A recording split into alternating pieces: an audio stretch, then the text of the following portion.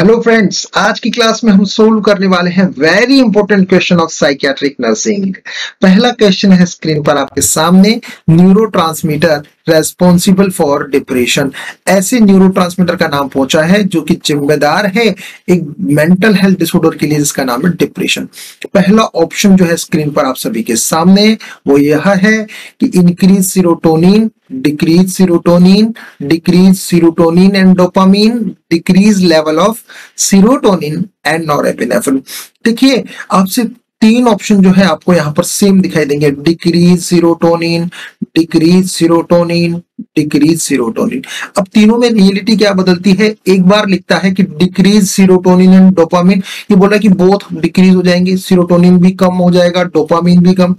Decrease level of serotonin and norepinephrine दो नाम यहाँ पर दिए। पहले में लिखा है ओनली डिक्रीज सीरोटोनिन बच्चे कई बार क्या करते हैं? जल्दीबाजी में इस ऑप्शन को पढ़ते हैं और सही कर देते हैं।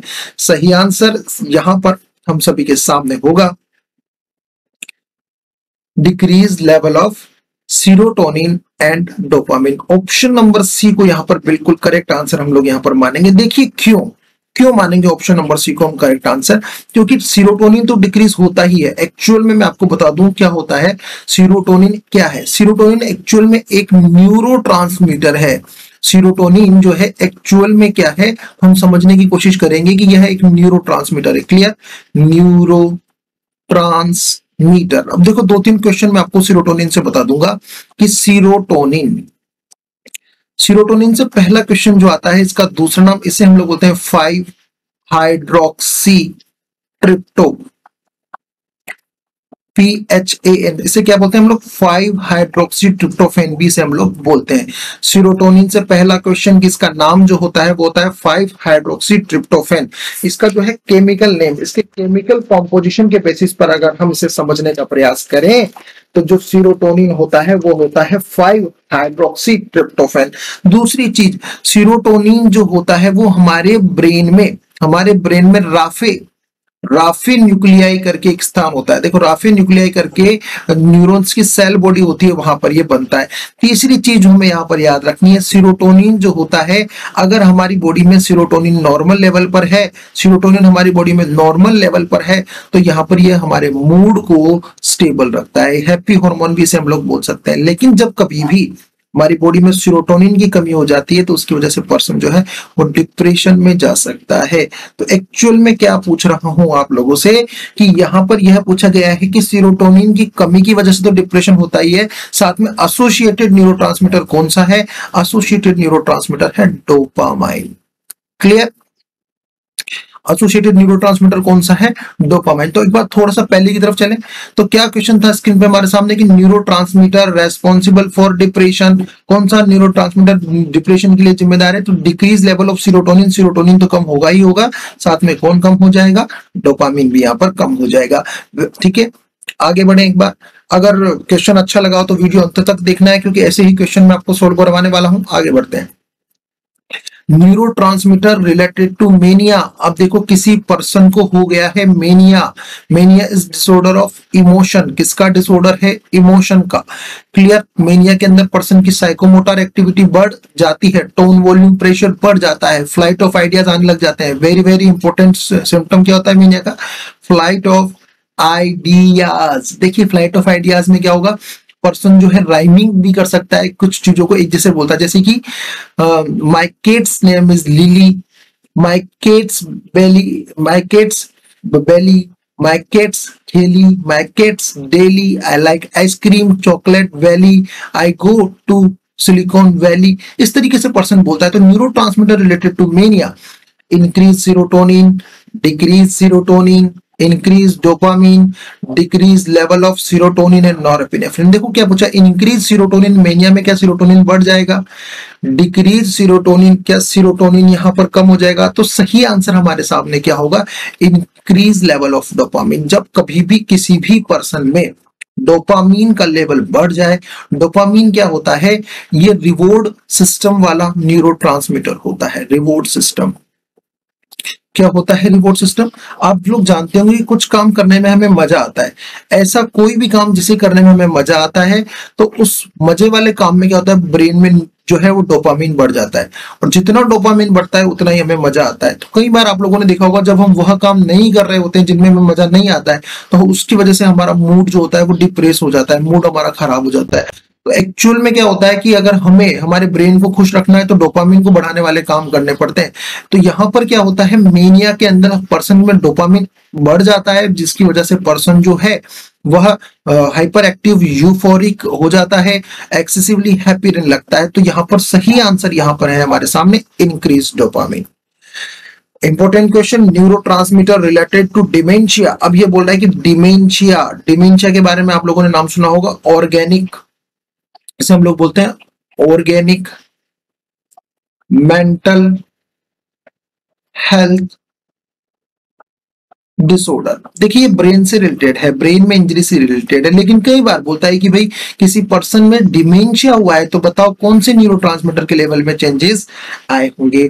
तो पहला ऑप्शन है इंक्रीज एसिटिल कोलिन दूसरा ऑप्शन है डिक्रीज सीरोटोनिन थर्ड ऑप्शन हमारे सामने है decrease acetyl choline and the last option हमारे सामने decrease level of serotonin and norepinephrine बहुत अच्छा प्रश्न आप लोगों के सामने यहाँ पर तो देखो क्या देखना है हम लोगों को। हम लोगों को जस्ट इतना सा ही देखना है कि भाई न्यूरो का नाम बता दो। यहाँ पर एक्चुअल में अगर सही क्वेश्चन सही ऑप्शन की हम बात करें तो हमारे सामने होगा decrease level of acetyl choline acetyl choline ऐसा न्यूरो होता है जो कि हमारी मेमोरी हमारी स्लीप हमारा डाइजेशन इसे इंप्रूव करता है। तो ह्यूमन की मेमोरी ह्यूमन के स्लीप ह्यूमन के डाइजेशन को इंप्रूव करने वाले न्यूरो को हम लोग यहाँ पर एसिटिल कोलिन बोल रहे हैं। तो increase level of acetyl choline decrease level of serotonin decrease acetyl choline सही आंसर है decrease level of acetyl choline की वजह से किसी पर्सन को डिमेंशिया होगा, जिसकी वजह से उसे मेमोरी जो है उसकी वो वीक हो जाएगी और मेनली यहाँ पर जो है रिसेंट मेमोरी हाल ही में उसने क्या काम किया था वो तो उसे बिल्कुल भी याद नहीं होगा। रिसेंट मेमोरी जो है वो बहुत ज़्यादा इम्पेयर हो जाएगी। उम्मीद है क्वेश्चन समझ में आ रहा होगा। आगे बढ़ते हैं। Neuro related to schizophrenia schizophrenia में कौन सा न्यूरो अफेक्टेड होता है? Increase dopamine decrease dopamine decrease serotonin and dopamine decrease level of serotonin and norepinephrine सभी लोग वेरी वेरी इंपॉर्टेंट क्वेश्चन है। सभी विद्यार्थियों को याद है। इंक्रीज डोपामिन या डिक्रीज डोपामिन सही आंसर स्क्रीन पर हम लोगों के सामने है कि न्यूरो रिलेटेड टू शिजोफ्रेनिया पूछा गया है कि शिजोफ्रेनिया क्या होता है शिजोफ्रेनिया शिजोफ्रेनिया एक प्रकार की साइकोसिस है। इस साइकोसिस के अंदर क्या होता है? इस साइकोसिस के अंदर पर्सन की इंसाइट पर्सन की खुद के बारे में जानकारी जो होती है वो एबसेंट होती है। तो किस न्यूरो की वजह से होगा? इनक्रीज डोपामिन जब कभी भी किसी भी पर्सन में डोपामिन बढ़ जाता है तो ऐसे पर्सन के अंदर शिजोफ्रेनिया हो जाता है। और कई बार एक क्वेश्चन आजकल अभी आ रहा है। अभी एमएससी एंट्रेंस में भी ये जो अभी दो तीन दिन पहले दिल्ली एम्स का हुआ है, वहाँ पे पूछा गया न्यूरोलॉगिज्म के बारे में।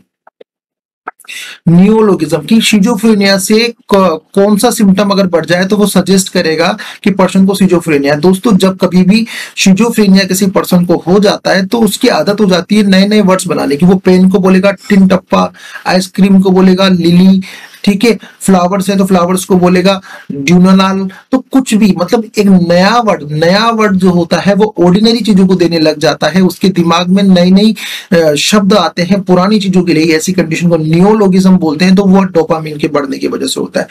मोस्ट कॉमन हालुसिनेशन नया क्वेश्चन पूछ रहा हूँ आप लोगों से। Most common hallucination in organic brain disorder देखिए वेरी वेरी इंपॉर्टेंट अभी तक न्यूरो के सारे क्वेश्चन मैंने करा दिया आपका कंफ्यूजन पूरा खत्म करा दूँगा और नाम है सुनील सर, पूरा सिलेक्शन भी करवा दूँगा।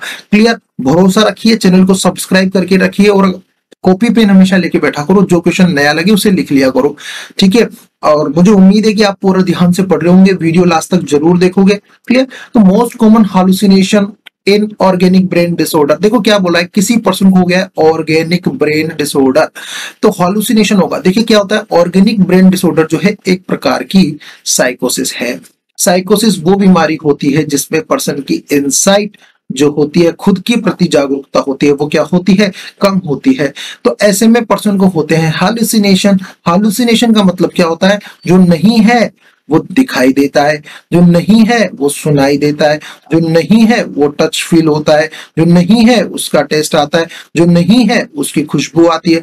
जो नहीं है मतलब यहाँ पर in absence of stimuli in absence of stimuli person को स्टिमुलेशन मिलते हैं। तो ये सब खुद की रचना होती है, खुद के ब्रेन में गड़बड़ी की वजह से ही हो रहा होता है। तो ऑर्गेनिक ब्रेन डिसऑर्डर में क्या होता है, ना तो ऑडिटोरी सुनाई में देते हैं, ना ऑल्फेक्टरी ना गस्टेटरी सही आंसर है। स्क्रीन पर सामने विजुअल जो कभी भी किसी भी डिमेंशिया का पर्सन डिलेरियम का पर्सन होता है ना, उसे आप देखोगे ना तो वो बोलेगा। क्या बोलेगा वो? अरे, मुझे मेरे पिताजी दिखाई देते हैं अभी अभी वो भूत आया था। आप मुझे जो है, दवाई लगा करके गए थे, जबकि आपने पेशेंट को दवाई लगाई भी नहीं होगी। और मैं आपको एक अच्छी जानकारी देता हूँ। मेरा एक्सपीरियंस दिल्ली एम्स का रहा है न्यूरो जो अपना लीवर ट्रांसप्लांट का डिपार्टमेंट होता है ना वहाँ का। तो लीवर ट्रांसप्लांट एलटीपी जब कभी भी किसी भी पर्सन को होता है लीवर ट्रांसप्लांट तो उसको क्या चलती है? इम्यूनो सप्रेसेंट ड्रग अब पर्सन को चल रही है इम्यूनो सप्रेसेंट ड्रग तो इम्यूनो सप्रेसेंट ड्रग में उसे चलते हैं स्टीरोइड अब ये जो स्टीरोइड होते हैं, इस स्टीरोइड की वजह से, यह जो स्टीरोइड होते हैं, इन स्टीरोइड की वजह से क्या होता है? पर्सन को हो जाती है स्टीरोइड इंड्यूस्ड साइकोसिस क्या हो जाती है पर्सन को? पर्सन को हो जाते हैं स्टीरोइड इंड्यूस्ड साइकोसिस तो उस स्टीरोइड स्टीरोइड इंड्यूस्ड साइकोसिस की वजह से पर्सन जो होता है बहकी बहकी बातें करने लगता है। कई बार मैंने पेशेंट्स को कहानियाँ सुनाते हुए भी देखा है। तो नॉर्मली मैं आपको बता रहा हूँ विजुअल हालुसिनेशन पहला प्रश्न भी मैंने आपको अच्छे से समझाया था। यह प्रश्न भी बहुत बहुत इंपॉर्टेंट रहा आपके लिए। क्या कि स्टीरोइड की वजह से क्या हो सकती है? साइकोसिस तो जब कभी भी किसी भी पर्सन को स्टीरोइड चले उसमें शुगर अच्छे से मॉनिटर करो। क्लियर उसे विजुअल उस, दूसरा उसको विजुअल हालुसिनेशन हो सकते हैं तो पेशेंट के साथ कॉपरेट करो। तो most common hallucination in organic brain disorder is visual hallucination clear most common hallucination in schizophrenia अब देखो शिजोफ्रेनिया अगर कभी किसी पर्सन को हो गया तो उस शिजोफ्रेनिया का जो पर्सन होता है ना बताया वो कैसी बातें करता है? एक पेशेंट जो थी, हमारे डिपार्टमेंट में एक बार एडमिट हुई थी। उसको डार्लिंग्स डिज़ीज़ थी। डार्लिंग्स डिज़ीज़ आप लोगों ने सुना होगा। कमेंट करके मुझे बताना कि डार्लिंग्स डिज़ीज़ क्या होती है। क्लियर आप नेट पर सर्च करोगे और कमेंट बॉक्स में ज़रूर बताओगे। क्लियर अगली वीडियो में आपको डिस्क्रिप्शन के साथ बताऊँगा क्या होती है डार्लिंग्स डिज़ीज़ तो अभी क्या था कि उस पर्सन को जो है डार्लिंग डिज़ीज़ थी और वो जीआईटी लिवर ट्रांसप्लांट के डिपार्टमेंट में हमारे यहाँ एडमिट थी। तो एक्चुअल में उस पर्सन को प्रीवियस हिस्ट्री जब हमने उसकी चेक की मेडिसिन चेक की तो उसे था सिजोफ्रेनिया अब वो कैसी बातें करती थी? वो पर्सन ऐसी बातें करती थी कि दो जने दो जने हैं, मुझे ऐसी आवाज़ें आती है, वो ऐसा बोलती थी कि मुझे ऐसी आवाज़ें आती है कि दो जने मिलके मेरे बारे में बात कर रहे हैं। दो जनों की बातचीत का मुद्दा कौन हूँ? मैं हूँ। जबकि कई बार मैंने देखा होता था, रात की दो बज गई है, रात की दो बज गई है, हम हमारा डॉक्यूमेंटेशन कर रहे होते हैं, किसी पर्सन की सक्शनिंग कर रहे होते हैं, हम अलग होते हैं। पर्सन बेड नंबर वन पे था, सामने उसके कुछ भी नहीं था, लेकिन फिर भी उसे लगता है, वहाँ सामने दो जने खड़े थे और वो मेरे बारे में बात कर रहे हैं। तो कई बार उसे जो है फील होता था कि कोई उसके बारे में बात कर रहा है। तो क्या था? Most common hallucination in schizophrenia कौन सा होगा?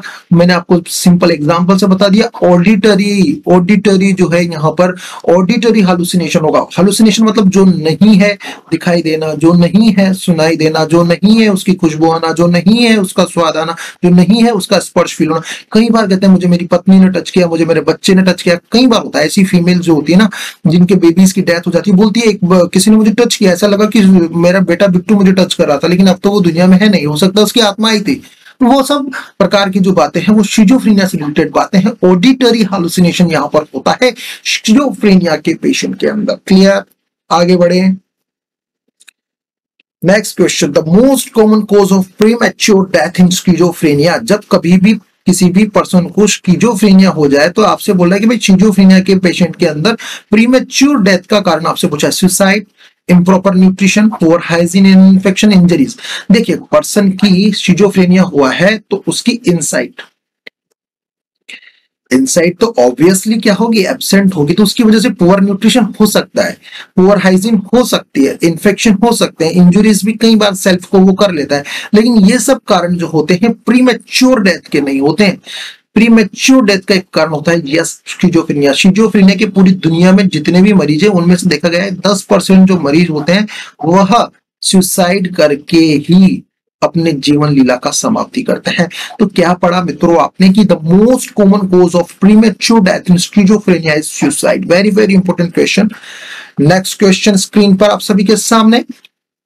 क्या होना चाहिए नेक्स्ट क्वेश्चन देखिए एलेक्सीथाइमिया मींस देखो क्या बोला गया है एलेक्सीथाइमिया एक टर्म है, उसका मतलब पूछा गया है। साइकेट्री में तो हमारे टर्मिनोलॉजी आती है।